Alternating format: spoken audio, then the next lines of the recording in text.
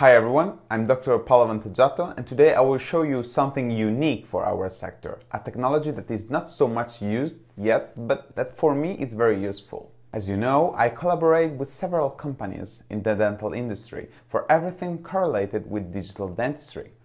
Recently, I had contacts with a company called Thung 3D. This company has been founded in 2008.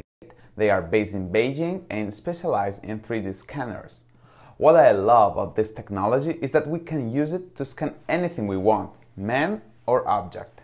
Therefore, this technology can be used in many fields, from jewelry to sculpture to the automotive sector up to the medical biomedical sector. For this reason, they asked me to test this scanner in order to understand how it can be used in the dental field. I'm using it since February, so it's not so much, but I have to say that I immediately had an excellent feeling with this technology. Well, so let's see how it works. Let's get started.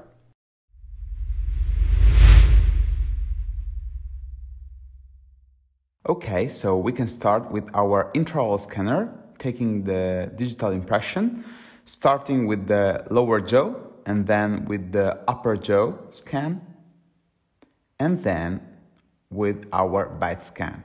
This is very important. Uh, we can start with one side and then on the other side and we need to check that the bite is taken properly. Okay, this is the core of our video. This is our facial scanner this is the acquisition and we see the crucial part is our vertical line. If it is blue, it's because we are too far away. If it is red, it's because we are too close. Uh, we need to stay, we need to obtain a yellow or green color. Here I'm cleaning the image before generate the file.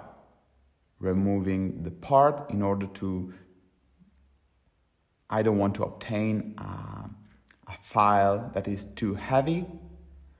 We need to stay to maintain the same distance from the patient, trying to avoid to move too fast. More or less, we can take 10, 15 seconds to take the image and 20 seconds to process the image. Here we are in the CAD software. We can use Exocad, InLab, or in this case, we are we are using Shape dental system. So what I do is I match the facial scan with the intraoral scan with three points alignment. Then we are aligning in order to obtain a unique file that we can choose also to export now from dental system in DCM format. This is my second case. This is a provisional that I do thanks also to my facial scanner. This is my third case. In this case, I had the prepared teeth of the patient and the provisional of the patient, the actual provisional of the patient that was already matched.